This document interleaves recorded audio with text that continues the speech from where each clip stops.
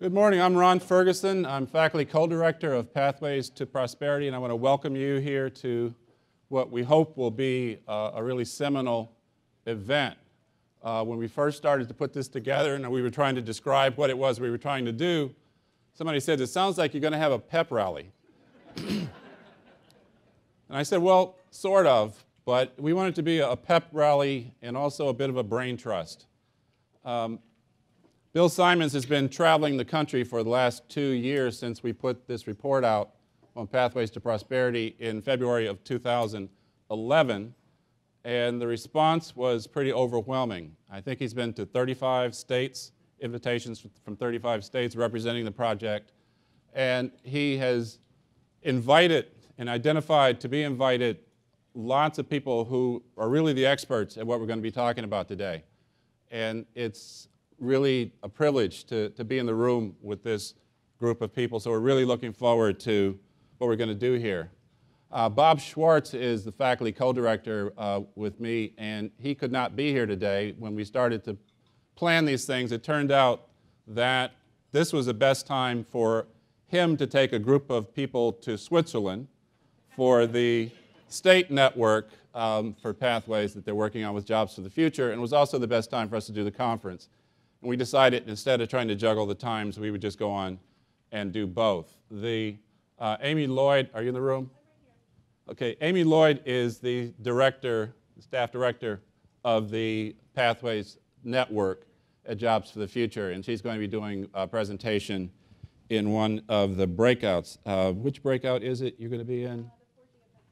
The Forging Effective Intermediaries. So if you want to know more about the network, it'll be there. Um, So I should mention the states that are participating in the network are Tennessee, North Carolina, Missouri, Georgia, Illinois, California, Massachusetts, and Maine. Did I get them right? And Ohio. okay, and if you're interested in it, in knowing more, uh, check with Amy. I think there's also a handout that will be around today. Um, before we go any further, though, I'd really like to thank the sponsors. We had 17 sponsors, I believe, who stepped up and helped us to, to make this event happen. Okay, that it actually works. uh, and they're listed here, but just let me list them off. Uh, the New Options Project, ACT, the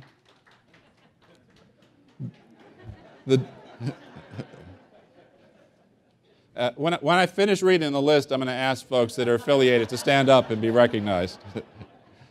uh, the DeVry Foundation, the Manpower Group, NCCER, Accenture, Microsoft, the Argosy Foundation, the Hegler Institute.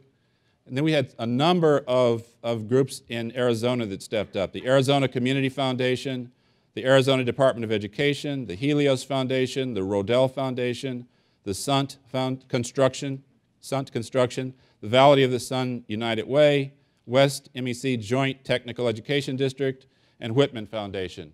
So uh, those of you who are here that are associated with any of those groups, please stand and be recognized.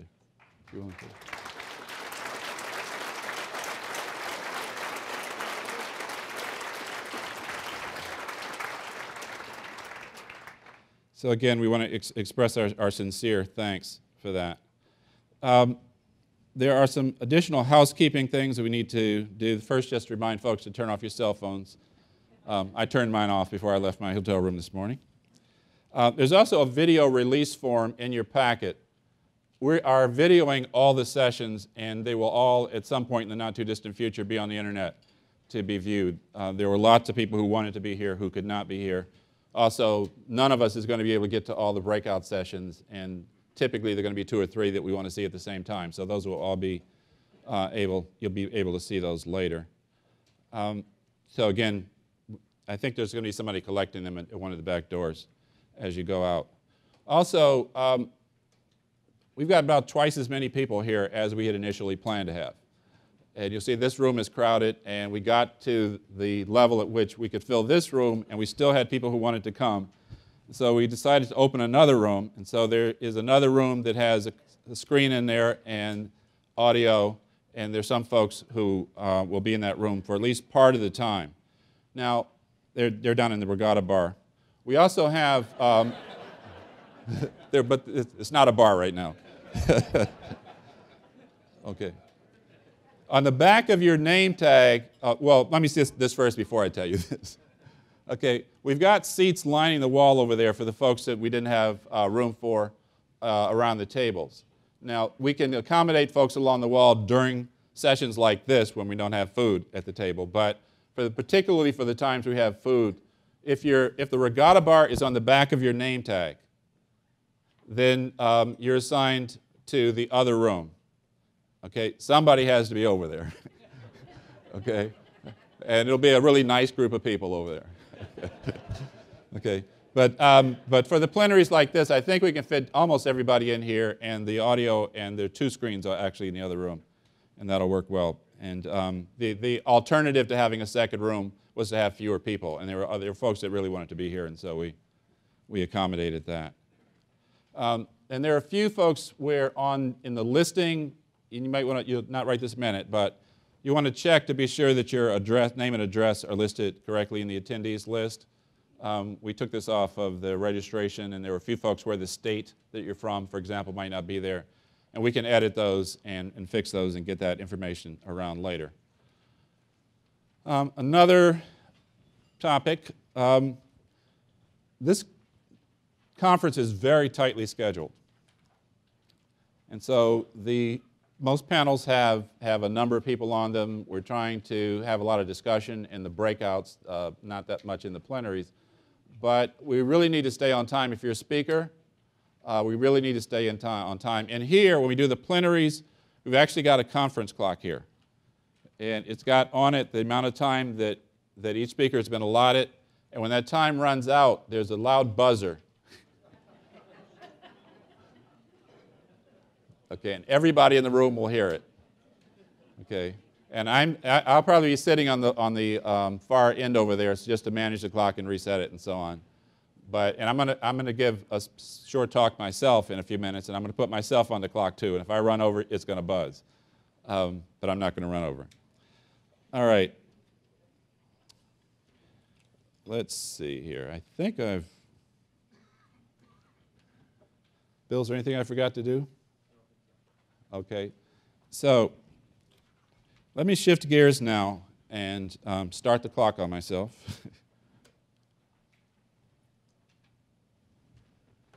and all right,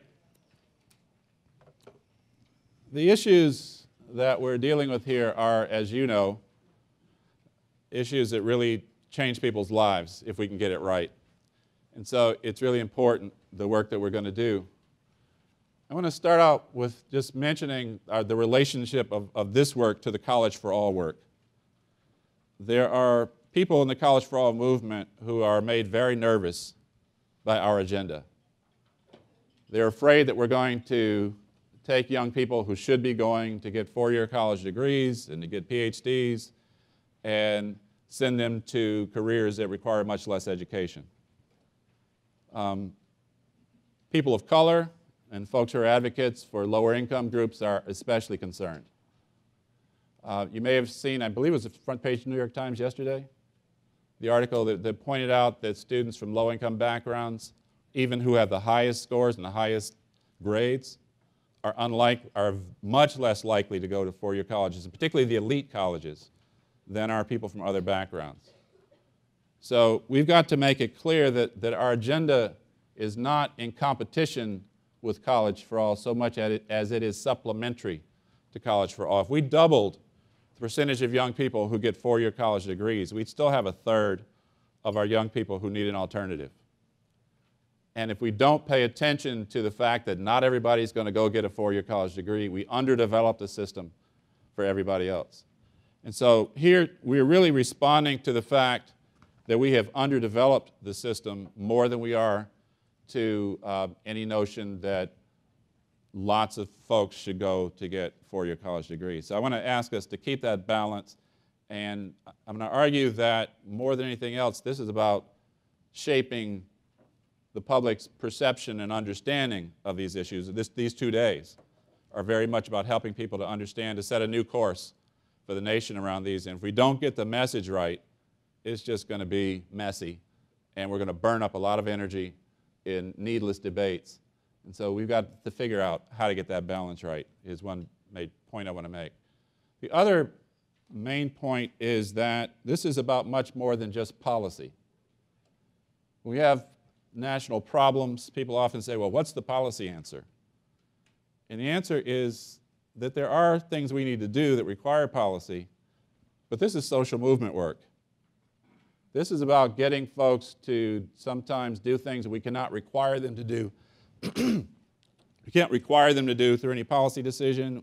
We can't get them to do it by just putting out more money. It's about really national lifestyle. And we have to, to help people envision what that alternative national lifestyle might be.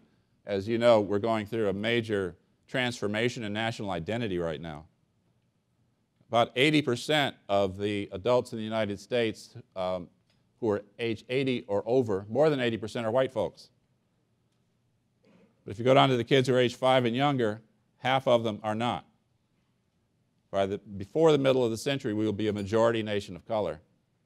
And we've got to be sure that children of color are world class in their achievement on, on multiple domains. And so it's about movement. I have a chart I often use that talks about the structure, the kinds of things we need to think about in order to get to, to really understand the movement in detail. Policy is the fourth line down in that chart. It's about the movement and then the goals of the movement and then the strategies inside the movement to achieve those goals. And then policy provides the resources and the authorizations to help us implement the strategies to achieve the goals inside the movement. So policy is instrumental in the context of bigger ideas about what we need to do. And then under policy, we've got the programs and projects that policy funds and the principles and practices that characterize what actually happens inside the programs. Okay, and so it's about movement and it's about really trying to, to frame that idea. The, this recognition that we need a movement is, is becoming pretty widespread now. The quote up here on the screen, um, Bill Shore, GlaxoSmithKline, we were at a conference together in 2011, and he said it's a Sputnik moment. Communities are going to rise or fall depending upon whether they have a workforce. How many of you remember Sputnik? Old enough. it was a scary time, right? I won't stop to, to, to, reminisce too much, but it was a scary time. Okay. Okay.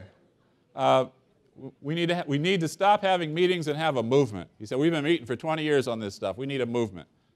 And so we need to think about, and the title on this presentation here was Enlisting Hearts and Minds. Okay, it won't happen without hearts and it won't happen without the minds piece. And it's a, it's a corny cliche, but when you look around where people get stuff done, they've got a drive that's undeniable, it, they're emotionally invested, and, they're in, and they really have thought it through. They got the, the intellectual piece done. And we need to get both of those pieces done. Uh, quote from Larry Summers I worry most about what increased inequality and reduced opportunity will do to the, to the legitimacy of our system. Probably for the first time in American history, over the last generation, the gap between the prospects for the children of the well off and the children of the less well off has widened.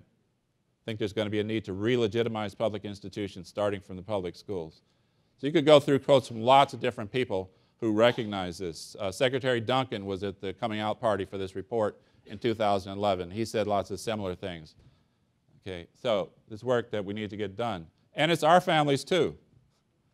Okay, how many people in the, in the room have at least one child in your extended family for whom a four-year college degree is probably not the right answer? Just show hands. Okay, me too. Okay. Two brothers, a family of five boys. I have two brothers for whom it really would have been a good fit. Um, or some of the things we're talking about would have been good fit. And I have one son at home. I raised three boys. Two are college graduates. The two is still trying to figure out exactly what fits. He's 20 years old. Okay? So this is not just about those other people's children. It's not just about poor people.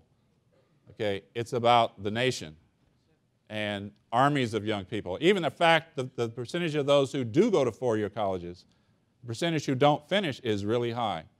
Particularly our less selective four-year colleges, I believe the number is about 37 percent who actually get a four-year college degree within six years. Okay, so there's a lot of work to do. Uh, there's a, I do a lot of work with schools. I'm also the, the faculty director of the Achievement Gap Initiative at Harvard, and we worry about cradle to career, so to speak, from, from birth on, on up. And when I go in and work to, with schools, I often use poems to, to get the ball rolling. And so there's a poem on the back side of the paper that was, you don't need to read along with me, but I'll read it. It's on the back side of the paper that was on the table here, and it's called Searching for the Stairs. Wrote this on an airplane on the way to a conference on pathways in California about eight months ago. I grew up pretty sure that someday I would go to college, but I tried, and college didn't work for me. Tried to make it work, but did so poorly in my studies that I had to leave the university. Now I don't know what to do, and time is passing by so quickly that I despair to contemplate my destiny. What am I supposed to do when everybody in my family went to college and has got a big degree? What am I supposed to do when everybody says that college is the only way to get where I should be? I'm asking you these things because they say that you're somebody. I'm asking you these things because I really need to know if there's some hope that I can find my own career. I'm asking you these things because they say that you're somebody who can help me push myself and persevere. Please help me find a way to keep believing I'm somebody other people can respect instead of fear. Please help me find a way to get invited to the party instead of being told to disappear. I thank you in advance for helping me to find a pathway. People say that you're someone who really cares. I thank you in advance for letting people in high places know that kids like me are searching for the stairs.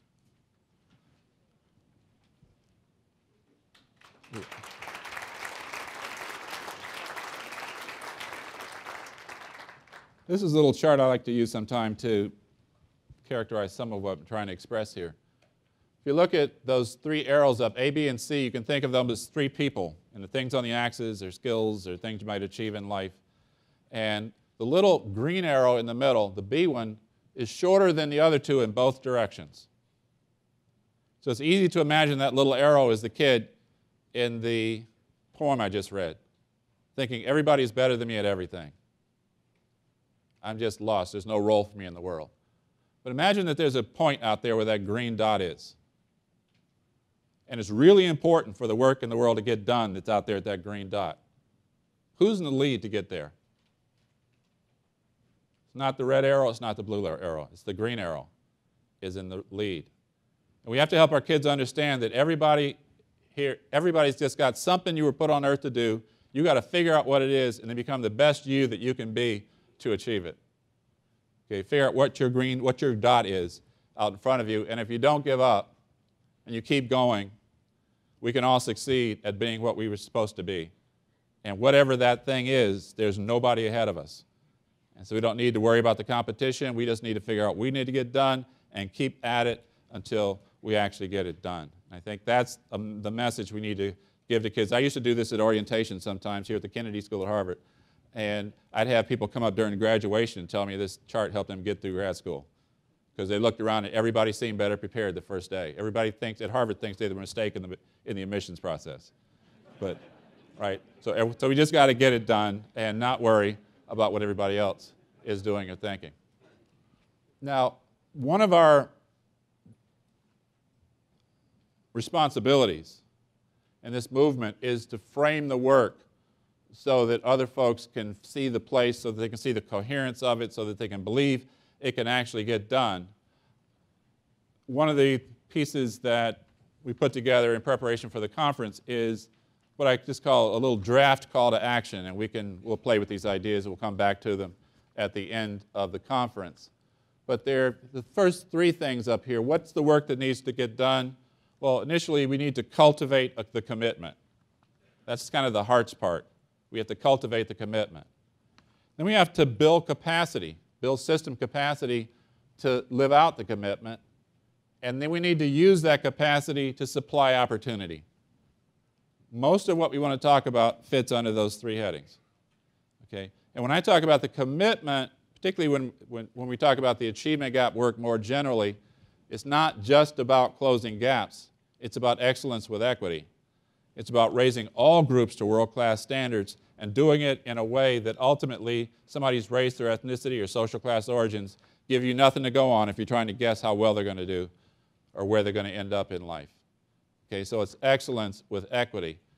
And here, if we talk about the call to action, the idea of what we're trying to achieve here, the excellence notion is we want to commit to excellence throughout the pathway system. All the different roles that have to do with the balance we're trying to strike between the college and the uh, alternatives to that. Every one of them needs to be excellent. And the excellence and the transparency is part of what's going to help us to persuade the people who are afraid of our agenda that we're really all on the same page here. Okay? If, we're, if we continue to provide less than excellent opportunities to the students who are not going to get four-year colleges, then maybe we deserve to get some flack right? So the excellence has got to be there. And then there are two dimensions of equity we want to emphasize. One is demographics, race, ethnicity, social class background.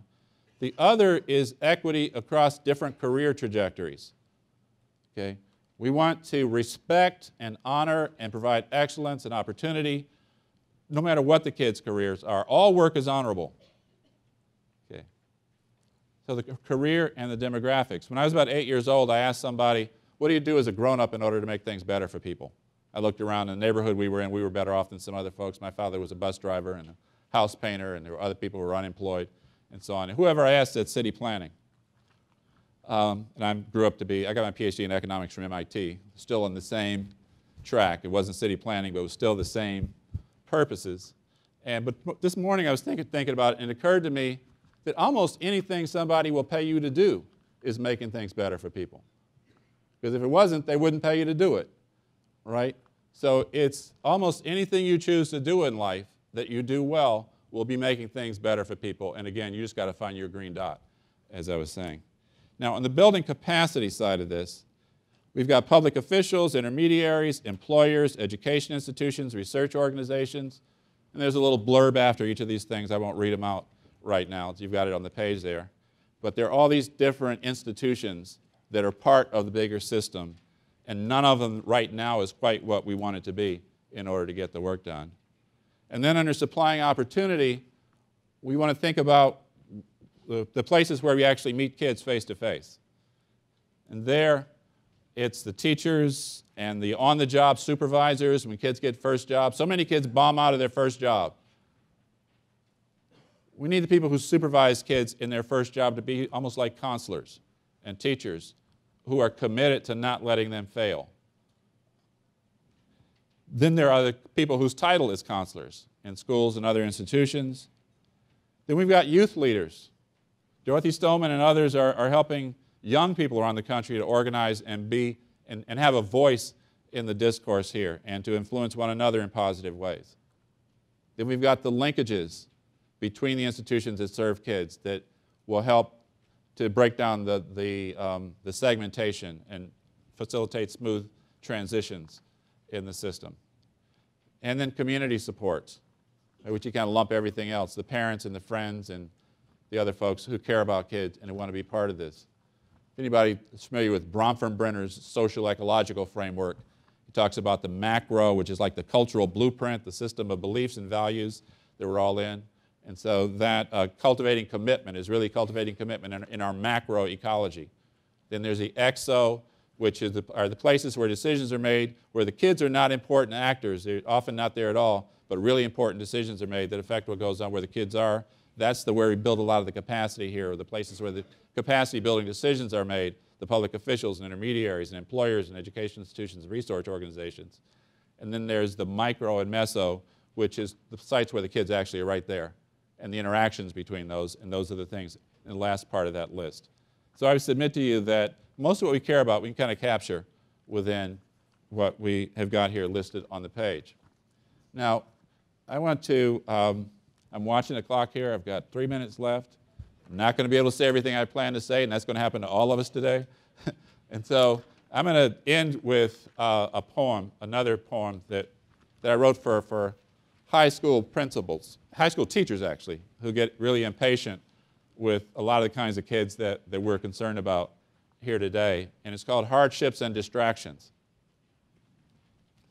I'm Gonna have my dinner at my grandma's house today. My mom's is staying late for work to make some extra pay. I got a lot of homework, but I'm worried about my mom, so that makes it hard to concentrate. My mind feels like a bomb. I've also got to make sure that I wash some clothes to wear, and I got to get the stuff I need to tame my crazy hair. And while I'm doing that, I'll use the phone to make some calls to tell my friends the time and place for Friday at the mall. Sometime between now and then, I got to get some dough because I ain't going to the mall all destitute and po. I know I should focus on that test I got in math, but my English paper's due soon too. I need some help, real bad.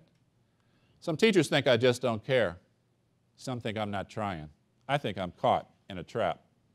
Sometimes I just start crying. But no one ever sees my tears because I just show the tough side. I like to seem real in control. If not book smart, then streetwise. I wish my teachers understood what it's like to be me, to see my life the way I do, the whole complexity. They see how hard it is to keep so many things in focus. They see how blurry things can get, how stuff can seem so hopeless. My teacher said I best to be ready when I take that test in math, but I ain't got no help at home. I never knew my dad. I want to go to college, but for that, I need good grades. And based on what my grades are now, there may not be a way. I don't know what I'm going to do. I need someone who's wise to help me figure out which way to turn, to empathize. Well, let me stop daydreaming because I got a lot to do. If I don't start my homework soon, I never will get through. If I try and still can't do it, well, just won't hand it in. But if I don't try, I'll never know. So here goes. I'll begin. Every day I pray to find someone to guide me and to care. Is there any chance that you could be the answer to my prayer? So we're all here today because we want to be the answer to that kid's prayer. It might be a girl, it might be a boy, it might be a Latina, it might be a white kid, it might be a Pacific Islander, we don't know. There are lots of kids in this position. And so we're going to join together, and by 4 o'clock tomorrow, we'll have figured it all out. Okay, so with that.